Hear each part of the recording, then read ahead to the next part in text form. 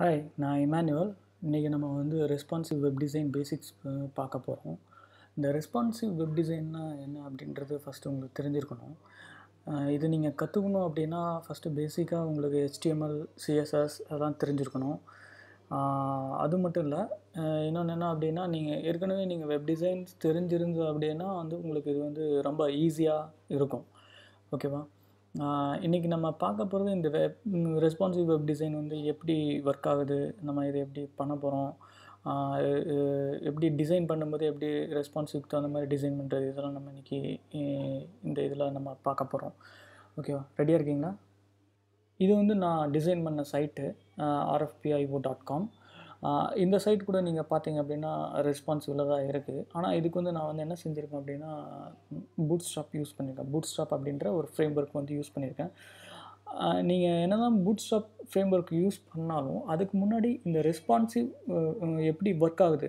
Responsive சைட்ஸ்லாம் எப்படி வெப்சைட்ஸ்லாம் எப்படி work ஆகுது அப்படின்றது கற்றுக்கணும் அதை தான் நம்ம இந்த கோர்ஸில் நம்ம இன்றைக்கி பார்க்க போகிறோம் ஓகேவா ரெஸ்பான்சிவ் வெப் டிசைன் அப்படின்றது என்ன அப்படின்னா நீங்கள் எந்த ஒரு வியூ போர்ட்டில் நீங்கள் பார்த்தாலும் உங்களோட லே அவுட் வந்து அதுக்கு தகுந்த மாதிரி ரெஸ்பான்சிவாக வந்து என்ன செய்யணும்? சப்போர்ட் பண்ணணும்.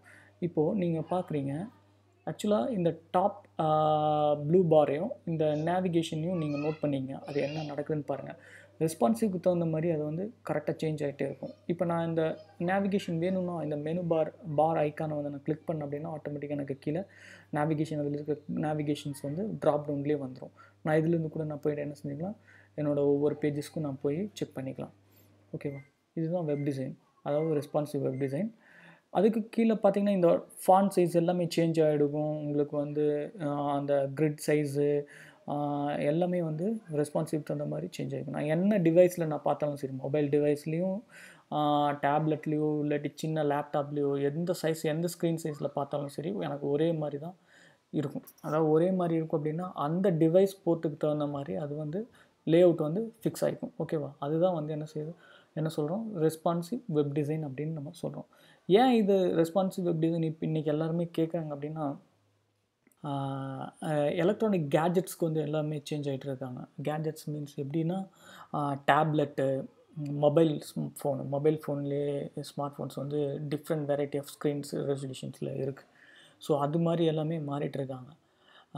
ஸோ அந்த மாதிரி இருக்கும்போது யாருமே வந்து ஒரு லேப்டாப் ஓப்பன் பண்ணி டக் டக்குன்னு வெப்சைட் இது பார்க்கணும் இது என்கொயரி பண்ணணும் அப்படின்றதெல்லாம் இல்லை. ரெஸ்பான்சிவாக இருந்தது அப்படின்னா அவங்க என்ன கேட்ஜெட்ஸில் இருக்காங்களோ அதுலேருந்து பார்த்தாங்கன்னா அவங்களுக்கு தேவையான இன்ஃபர்மேஷன் வந்து கரெக்டான வியூவில் கிடைக்கும். எனக்கு கச கசன்னு இங்கே ஒன்று அங்கே ஒன்று ட்ராக் பண்ணுற மாதிரி இருந்துச்சு அப்படின்னா இது என்ன இப்படி இருக்குது அப்படின்ட்டு நெக்ஸ்ட்டு போயிடுவாங்க நம்ம அந்த ப்ரெசன்டேஷன் எப்படி அவங்களுக்கு கொடுக்குறோமோ அந்தளவுக்கு தான் நம்ம வந்து அது பாசிட்டிவான என்கொயரிஸ்லாம் வந்து வெப்சைட்லேருந்து எடுக்க முடியும். ஸோ ரொம்ப மொக்கையான வெப்சைட் வச்சுட்டு என்கொயரி எதிர்பார்க்குறது ரொம்ப கஷ்டம்.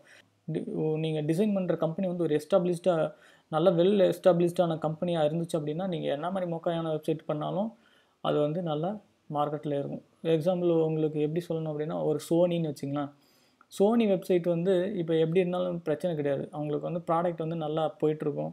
அது நல்ல எஸ்டாப்ளிஷ்டான கம்பெனி ஸோ அதுக்கு வந்து வெப்சைட் எப்படி இருந்தால் ஆனால் நியூ அதாவது ஸ்டார்ட் அப் கம்பெனிஸ்க்கு எல்லாமே வந்து நான் வந்து புதுசாக ஒரு வெப்சைட் போடுறேன் புது கம்பெனி ஆரம்பிக்கிறேன் அப்படின்னு ஒரு கிளைண்ட் உங்ககிட்ட வராங்கன்னா அவங்களுக்கு உண்டான வெப்சைட் வந்து ப்ரெசன்டேஷன் வந்து நல்லா லுக் அண்ட் ஃபீல் வந்து சூப்பராக இருக்கும். பார்த்தான்னா வந்து இம்ப்ரெஷன் வந்து நல்லா பக்காவாக அவங்களுக்கு இருக்கணும்.